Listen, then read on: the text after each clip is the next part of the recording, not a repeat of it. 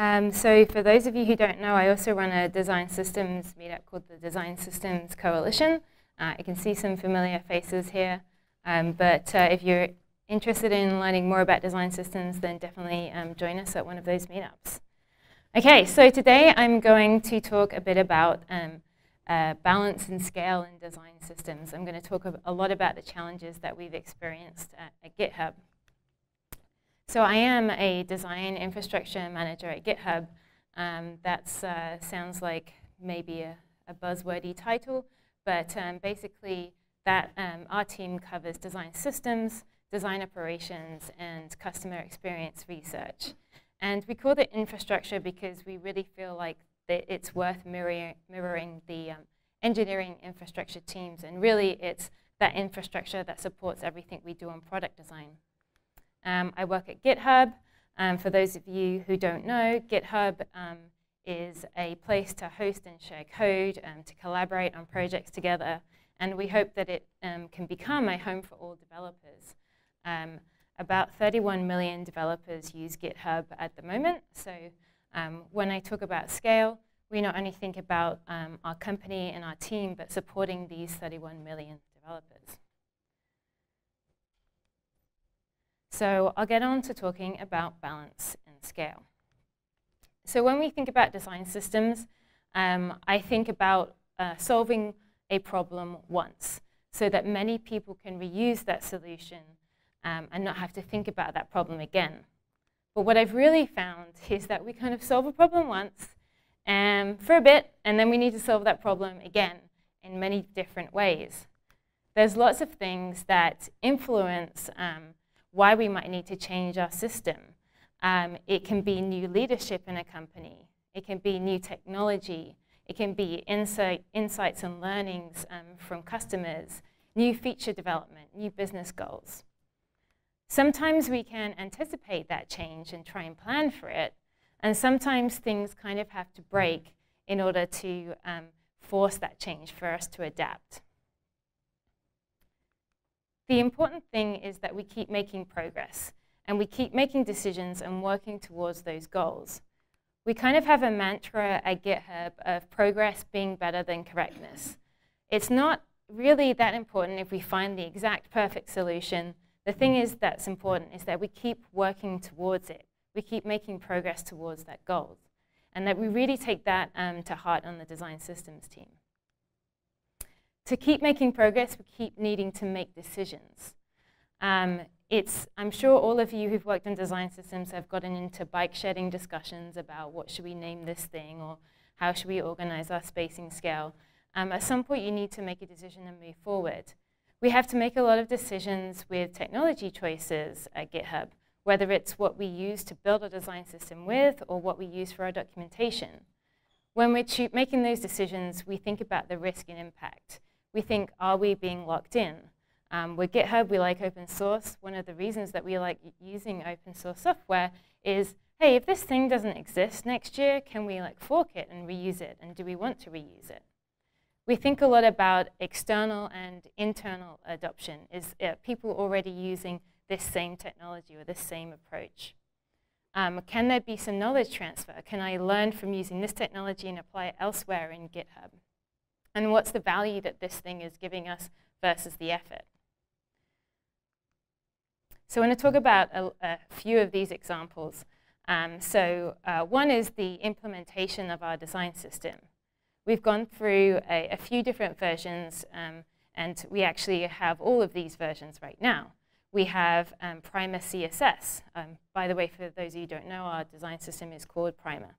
So we have Primer CSS, we have um, Primer Components, which is a React component library. And at the moment, we're also experimenting with Rails components. Because the fact is, um, GitHub.com is built in Rails, and even if we're moving towards React, we're still needing to live with this technology for a while. So we're exploring a lot of different options.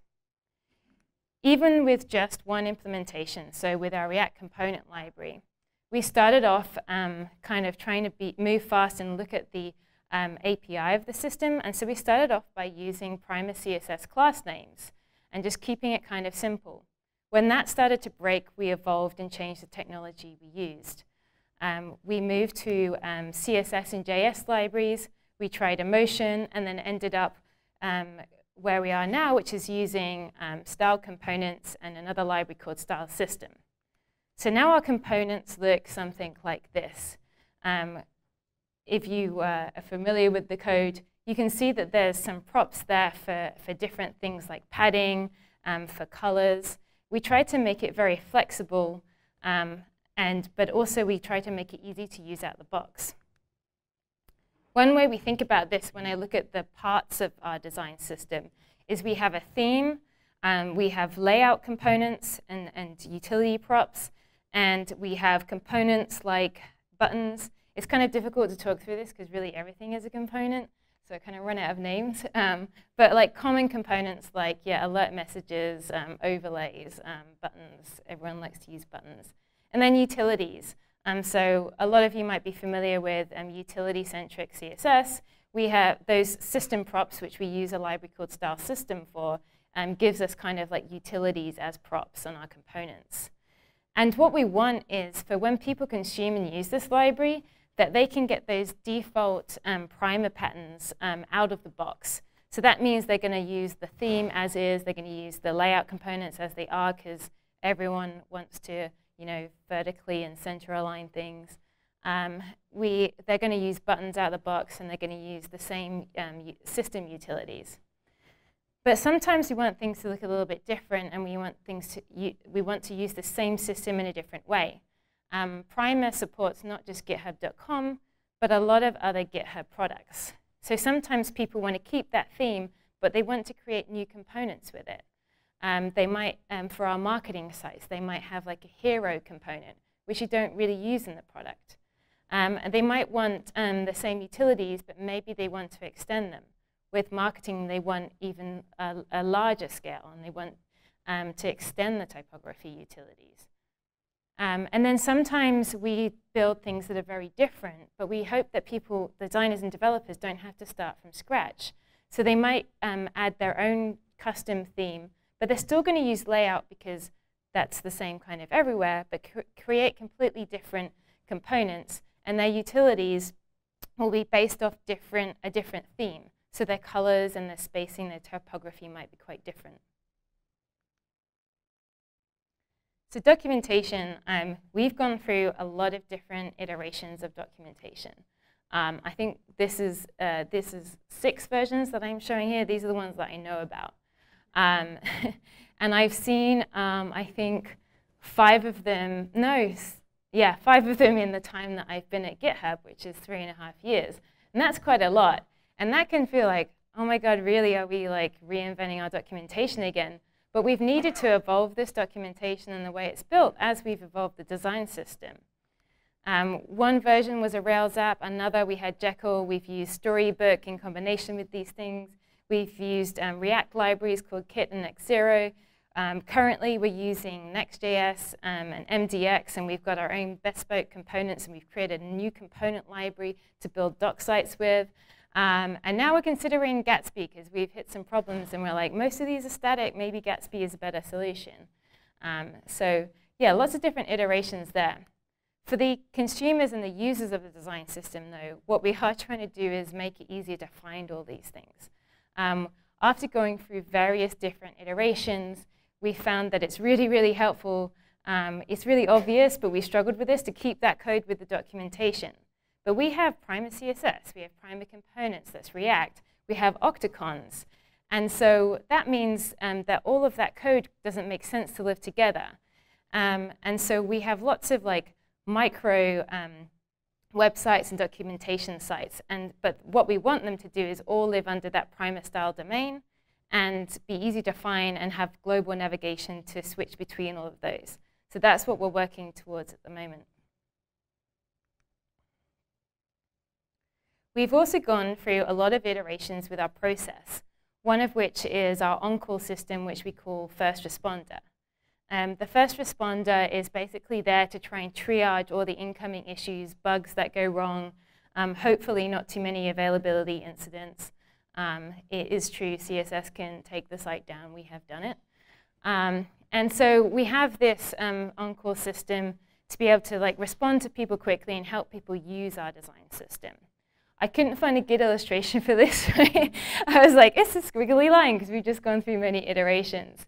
Um, we've changed the way, we've changed our notification script, which I know for those of you who use GitHub, notifications is not ideal. So we created our own custom script to try and um, pull in all the notifications from all the different repos um, to make sure that we saw things and were able to respond to them. The way we've uh, triaged things and prioritized issues has changed a lot. Um, our area of responsibility has shrunk in some areas and grown in others. Recently, um, we added ourselves to the partial that controls our repo navigation, and I'll get to that why later. And also the time and focus that people need. Um, I'm the manager of the team, and it took a, took a little time for me to recognize that my, my team were really struggling with trying to do project work at the same time as like triaging these issues and dealing with the sort of very attention-seeking type of work that first responding is. So now when someone's on first responder, they only do first responder. They don't try and do project work at the same time because it's not successful. So with all these things, with different documentation, different implementation, different processes, it's all, we have to kind of like embrace the change. We have to accept that this is just a natural part of working on design systems and, and software development, really. I wanted to share with you some of the new challenges that we haven't fully solved yet that we've been experiencing lately. And I'm, I'm really curious, like afterwards, if people are still hanging around, I'd love to hear what other people's experiences are and, and, and dive into some of these issues um, more deeply. So some of the things we've been talking about is how to more safely experiment and extend our system. Um, guidelines for play. Sometimes um, uh, designers want to sort of like explore and experiment with styles a bit more expressively than they might do with just straight out the box like GitHub. Um, when you've worked at anywhere for a certain amount of time, sometimes you need to get outside the box. You need to think differently. You need to bring fre fresh thinking to that. And we've also been talking about when, how and when to delight, um, which is hard sometimes to think about when we think about github.com, a tool where you ship a lot of code and review code.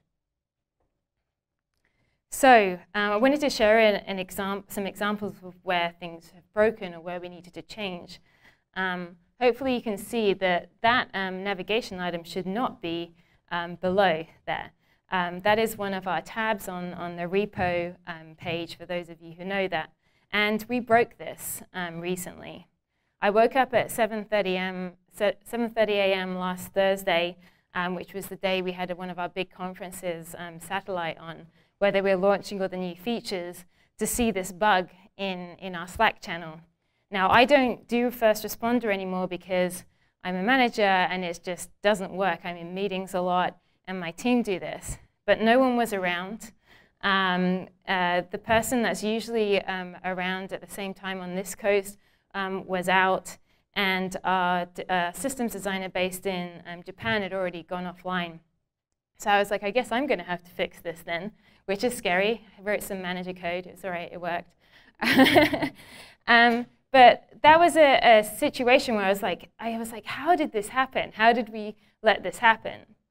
When I looked at this bug at uh, 7.30 in the morning, and I'm not really a morning person, so that was hard for me, I was like, well, you know, we've got kind of two choices, really. We can fix this nav and break the design systems pattern, um, or I can be like, hey team, you need to like solve this a different way and come up with a different solution. Um, but really, I mean, it was a bug. I, of course, I chose to fix the pattern.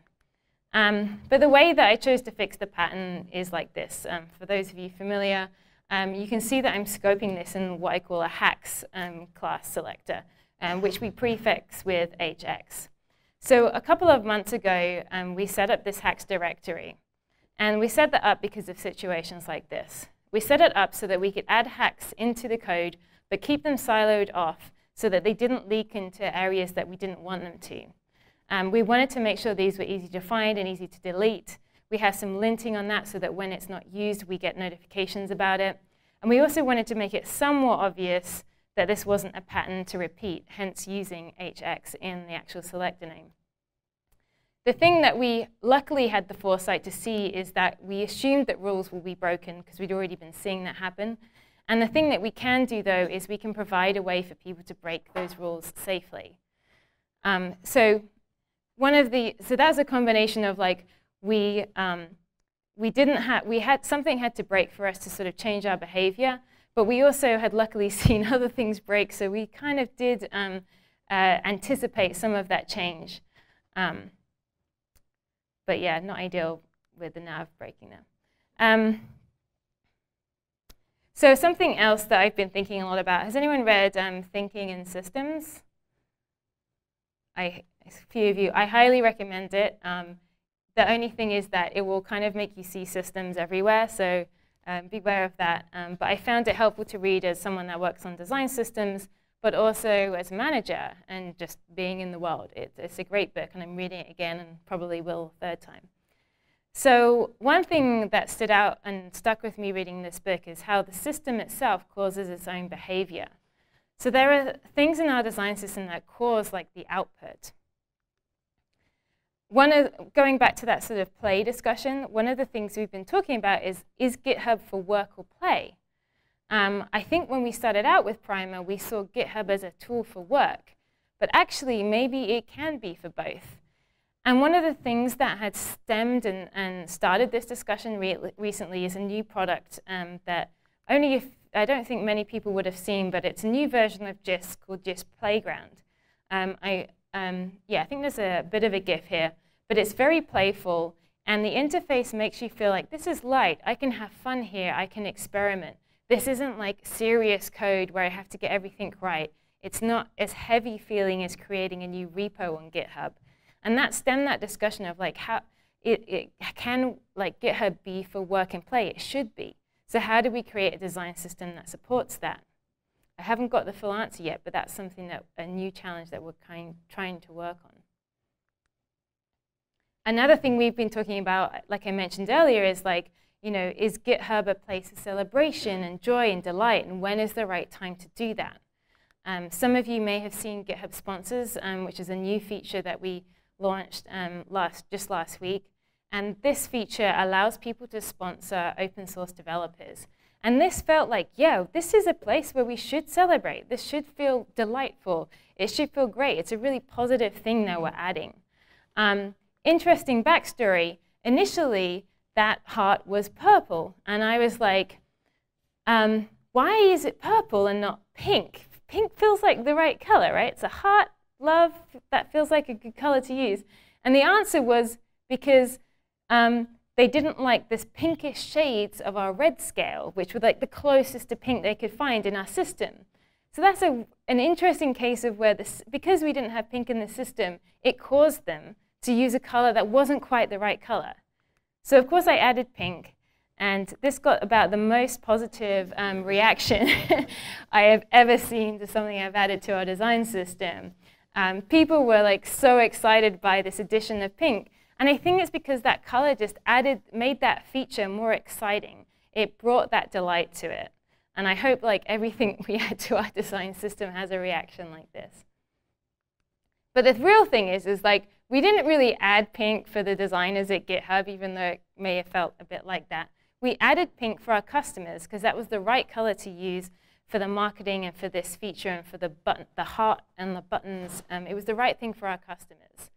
And that's really why we build design systems. Um, we build systems because we can't solve customer problems at scale without them. That's why we have design systems. So design systems need to scale. Design systems should be built for change. Thank you.